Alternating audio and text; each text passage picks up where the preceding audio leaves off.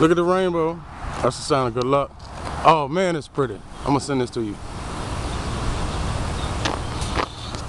The rainbow.